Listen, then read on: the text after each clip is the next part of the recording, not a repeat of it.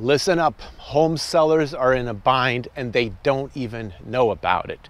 Yes, some of y'all have heard that, you know, no one wants to give up their 3% interest rate, so there's not many homes for sale, so you don't have a lot of competition, and that sounds all fine and dandy, and there is truth to that. There's a lot of people who are not willing to sell their property because they have a super low interest rate, and those are not portable. You cannot move one from one house to another. You have to reapply and pay all new closing costs and all that jazz. But what is the bind that home sellers are in that they don't know about? And there's actually a few of them. So let's get right into it. And by the way, if you don't know me, um, my name is Maciek Zaremba. I'm a real estate agent over in Sarasota, Florida. And uh, right now I'm just walking on to Siesta Key Beach. Beautiful place. I love Siesta. In fact, one day I'm probably going to sell a bunch of my rentals and buy one of these houses out here, you know, that's that's here on the, on the beach itself. Um, that is one of my one of my dreams that I've had for uh, for a very long time. So let's talk, okay? Because if you're a home seller, you should really consider this. Take this into account and ask yourself, are you positioned properly to sell your house? And by the way, I have made a for sale by owner course, okay? It's free right now. It's free. I'm not going to give it away for free forever, but right now it's free. First 100 people are going to get this course. If you are selling your home or if your agent is selling your home and you want to see if they're doing everything that they should be doing, or that you should be doing if you're a for sale by owner. Just click the link below, sign up. You will be the first to get notified, or the first 100, because they'll all be notified at once uh, that this course is available. I will create a per personalized login for you, and then you can start using it. Now, I'm not saying go and drop your price 50%. That's not the answer uh, and not the proposition. I'm saying, but sellers are in a worse position than they think there are. So, what am I talking about? And I think the first thing to talk about, and this is especially true in Florida, is the insurance market and what is happening with the insurance market. So, you know, of course, if you have a brand new home, you're not affected by this. If you have a home that's five years old, you're probably not affected by this. But if your home is 10 years old or older, you are in some way being affected by this. So what's happening in Florida right now is that there's a lot of insurance carriers that are tightening their insurance guidelines. And all that means for you as a seller is that not all homes can get the insurance you think they can get. And you might say to yourself, well, listen, I, I, have insurance. I've had insurance for 10 years that I've owned the house. I built it brand new. So it's only a 10 year old home. I, I should be okay. And it may seem like that, but that's not really true. Um, there's a lot of carriers out there that will not write a policy for a home that is more than 10 years old. And being 10 years old, it's already too late. It needs to be nine years old. And they'll renew you. So, yeah, you have insurance because you've been renewed for nine years or 10 years straight. But that does not mean that the new homeowner that's looking at buying your home is actually going to be able to get insurance at a reasonable rate. And the second thing is, you're, you're, you know, you might say, hey, my insurance rate is only $3,000. Well, that doesn't mean it's going to be $3,000 for the next person. Because if you bought it and you bought it for $250,000 new construction, and now it's worth $680,000 as a 10 year old house, you have to understand that the replacement cost estimator that the insurance companies use is going to use today's replacement cost but what happens with old policies is they just renew you and they bump up the replacement cost amount by maybe like, you know, 5% or so, even though we've had 30% appreciation for the last couple years. So they're not going to necessarily be able to find affordable insurance. So that's one thing to keep in mind. Now, the second thing that's kind of related to this is the competition of new construction. Now, if you have a home that's 30 years old, 40 years old, you're really in a much tougher spot than you think. And if you want to know more, give me a call. I have a Calendly link below. Click on that. Let's schedule a call. Let's just talk about it. Because if you're thinking about selling your home and you haven't listed yet, um, then I can just kind of tell you, you know, where your particular situation is. So, what are the new construction uh, builders doing? Well, you know, new construction, these guys, these builders, they're national builders. They're smart. They got smart people working for them. A lot smarter than random agent out there. Or not even random, even the best agents. And I say that because they have a team of, you know, 200 people working for them and each one of these people gets paid you know three times more than the average agent uh, per year so they're they're equipped and what are they doing to gather all the sales? Right now like literally a third at least a third of all sales that are happening are new construction. So here's what they're doing. First of all builders hate to look like they're lowering the price. So they don't lower the price. Because then all the people that bought you know when the price was higher would be all mad and standing at the you know the the, the sales center door and saying don't buy the house don't buy the house. Drops value in this uh, or values drop in this neighborhood. Just you know just whatever. People are weird. So what they do is they do something different. They offer incentives. And you're competing with this incentive. For example you can buy a brand new construction home and get all the updates that the previous buyers did not get. Not only is your house, you know, three years newer, uh, because maybe you were one of the first people that bought in that neighborhood, but also you get the tile throughout every single bedroom. You get the upgraded solid wood cabinets. Maybe you get, you know, the best level granite, uh, maybe even a fence uh, the, the, the hurricane impact windows, all types of upgrades that they are now offering as incentives.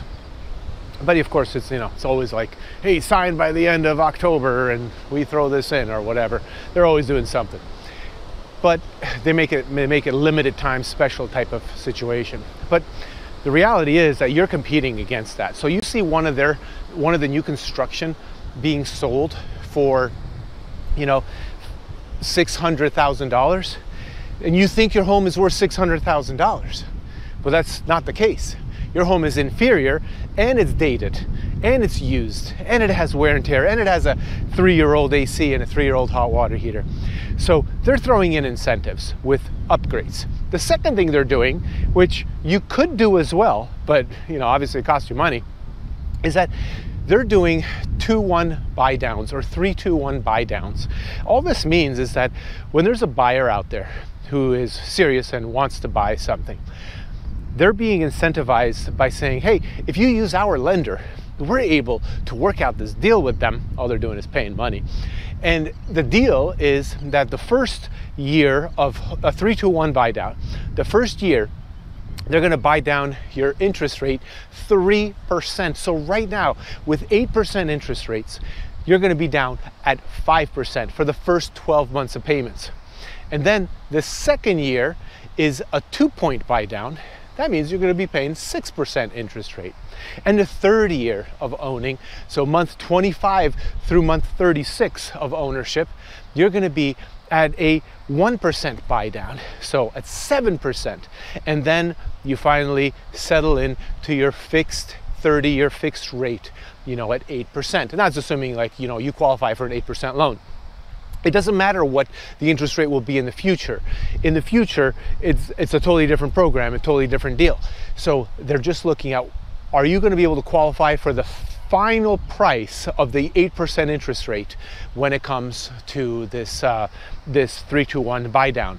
The bonus, the icing on the cake, is that for the first three years, you have a lower payment. So that is super nice, right? That is a very big incentive. And how much does this cost? You know, depends what kind of buy down, depends on your credit score, on the buyer's credit score and all that. But you know, you're talking about 10, 15, 25,000 dollars depending on the loan amount and all of that. So it's it's something that they offer and once again you know you see oh home sold uh, my neighbor sold this new construction or, or maybe a community next to you sold um, for 680 that's great i'm going to list for 680 well you're forgetting to like minus out the the $25000 of buy down the the $22000 of incentives with uh, with with better products you know with upgraded products so you're not seeing the full picture. And that's why it's really important to talk to an agent because you, you don't want to put yourself in that position where you're listing it too high. Because right now, with the scarcity of buyers out there, you have to make yourself the obvious choice. This is this is just common sense, okay? When no one is buying homes, or it's not true, but few, there's a lot less buyers out there buying homes than there was just one year ago or two years ago, especially two years ago and three years ago you have to position yourself to be the obvious choice. Now, if you don't have some major upgrade like a swimming pool, which you know costs usually about $100,000 right now, and you're not pricing it with that major upgrade in your price that's already comparable to the one without the pool, you're going you're not going to have many showings. You're not going to be the obvious choice. If you're not doing a 2-1 or a 3-2-1 buy down, you're not the obvious choice. If you're not throwing in major, you know, closing costs, maybe 3% of your purchase price towards the buyer's closing costs, which is the maximum allowed by, uh, you know, Fannie Mae and Freddie Mac loans, or you could do 6% if it's an FHA, but FHA is, you know, usually low, slightly lower price homes, maybe in the 400s, 300s, 400s in our area in Sarasota, Florida. If you're not doing that, you're not standing out. So, what else do you really need to keep in mind aside from what I just mentioned as a seller? And you know, don't be blindsided by the reality of today's real estate market. Where is it at? So, let's keep talking. All right, so the next thing that you are probably not paying attention to are the market statistics. You need to team up with an agent that knows what the heck is going on in your local market, okay? They need to know what's happening with inventory. Does that mean there's more homes for sale month over month over month, not year over year? No one cares about year over year. You want to know what's happening right now. You need to know an, an agent that is data driven you know, do they know what the median sales price is? Do they know what that community goes for? Aside from doing a comparative market analysis, are they going to go look at every single one of your homes that's in competition with yours? That's what you want to do. You don't want to go and just list your house. You want to make sure you are positioned properly. So, when it comes to actually listing and deciding on a price, you should go look at every single home in the neighborhood that is competitive. That is, you know, something that someone else is going to look at. If there's a neighborhood wide open house and someone decides to visit every single house in that neighborhood before making an offer, you need to be the obvious choice. I can't say this enough, guys. It's not easy becoming the obvious choice. You really have to do some work you have to price it right. And it's okay to overprice as long as you're okay with not selling. In this market, it's okay, right? If you have no motivation, that's okay. You can give it a shot. Maybe some random person will come out and buy your house. But the reality is, it's probably not going to happen unless you priced it very well. So it's not all about pricing, it's about presentation too, accessibility as well and uniqueness you know? Sometimes you, you might have something super unique in your home that nobody else does that is highly sought after or maybe maybe very rare or something. So you know you, you definitely have to stand out okay? Are you the obvious choice? Now if you are currently listed right with a florida real estate agent i can't go and give you advice because because there's a there's already a contractual agreement with your agent but I can say that you should call your agent and you should tell them, all right, listen, agent, it's been, you know, 21 days, 30 days. I'm not ready to lower the price. I want you to schedule showings for every single house that's competitive to mine in our neighborhood. I'm, I'm to make myself available. Please, let's go and look at every single home in the next five days. If your agent does not make the effort to do that, then, well, do you, do you have the right agent? Do you have someone that's looking out for your best interest, or do you have someone that's going to beat you up on the price? That's, that's the bottom line. Are you going to be constantly badgered to lower your price just to make this property more attractive? And the reality is, price isn't the only thing, right? location is very important. If you're if you're in a bad location in a neighborhood, that's not going to help you. Okay, you might need to adjust your price for that. But aside from that, the condition is important too. So if you have stuff everywhere, that's not going to help. You need to declutter, get everything out of there. All right, and I do have a few more things to say, but they're going to be quick, okay? I'm not going to expand as much as I just did on all those other topics. So, couple things that you need to look at if you are already listed or if you're about to get listed or if you're about to, you know, do a for sale by owner. First and foremost, presentation is key, okay? Now, what this means is your photos, first and foremost, have to be top notch. If your agent used their cell phone and you can tell by going into the photos in the um, in the bathroom and seeing if there's like some hand sticking out holding a phone you know in the reflection. This stuff drives me crazy. It's just like how, how unprofessional can you be? I'm giving us a bad name here. So if that's what your agent did then I, I mean literally I'm not telling you what to do, but I know what I would do. I would fire them immediately. This is the dumbest thing I've ever seen, okay?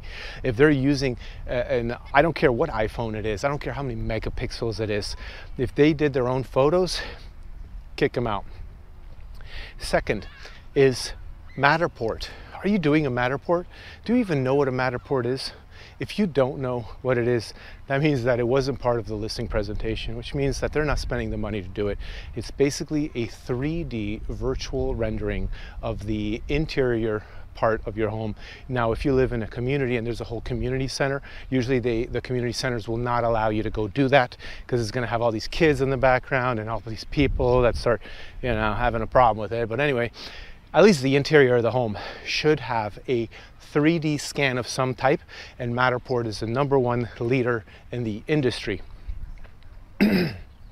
now, another one to think about, which isn't available everywhere due to FAA regulations, but there should be um, some sort of at least still, but maybe even video shots from the bird's eye view right? There should be some sort of, of, of drone photography that outlines which house it is in the neighborhood, where it's located.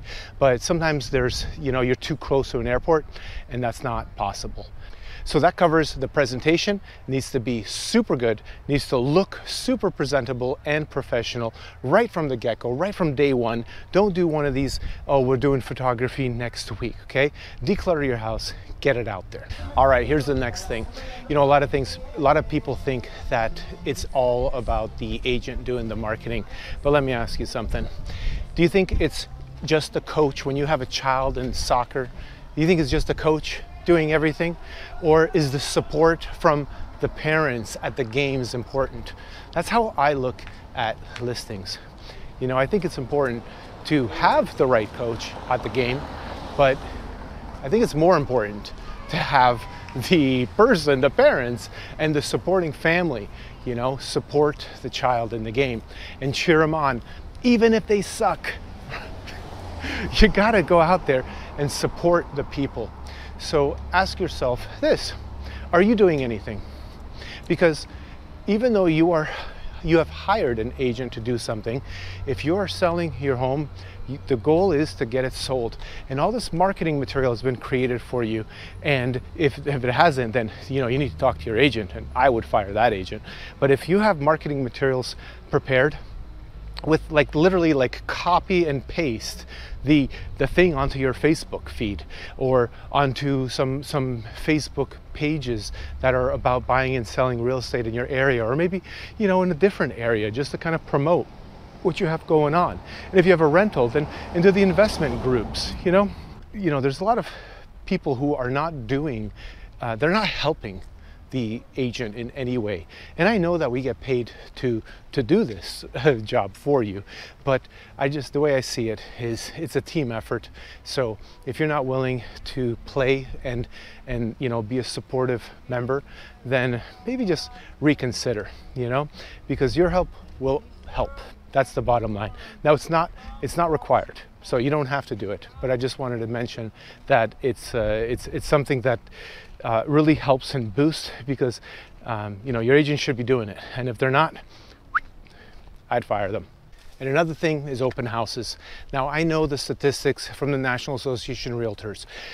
1% of homes are sold through the open house. Usually, open houses are used as a lead generation thing for the agents doing holding the open house for you.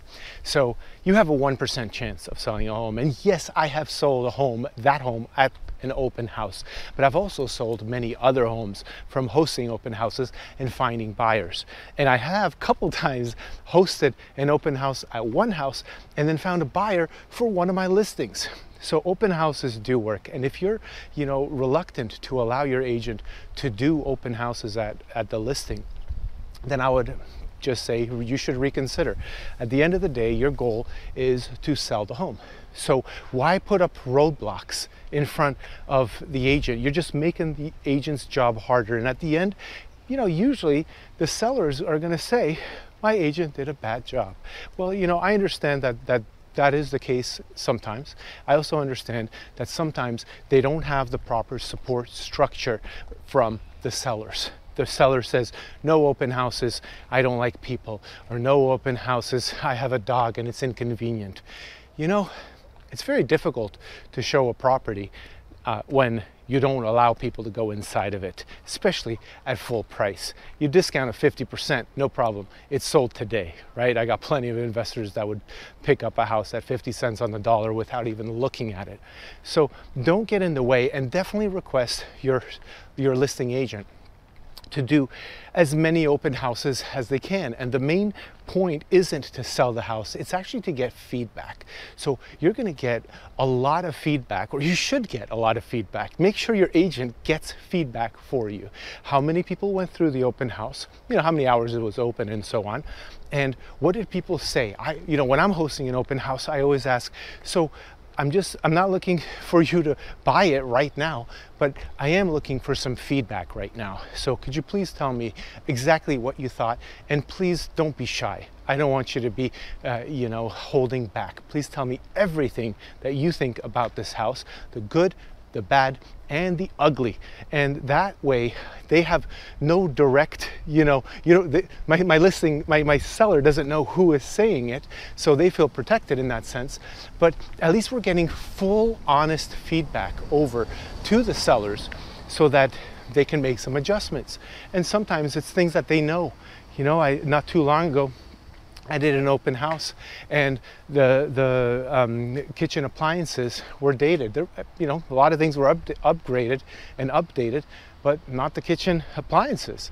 So what happened? I mean, it was just feedback, and you know, the seller she said, "I know, I know," and that's it. she knew what's up. She she didn't want to buy the three and a half thousand dollar appliance package. She opted to say, well, you know, let's let's just buy an appliance package um, when when we sell it. And you know, maybe you should do it early. I don't know. So sellers beware. There are lots of things that you could be doing, should be doing, your agent should be doing, and lots of things that you don't know about. Now, if you have any additional questions, please give me a call. My number is 941-888-SOLD. I've been a real estate agent in Florida since 2004. I invest since 2002. I've had you know, over 500 tenants. You have questions about rentals and all that, just reach out. I'm always available. Thanks for watching.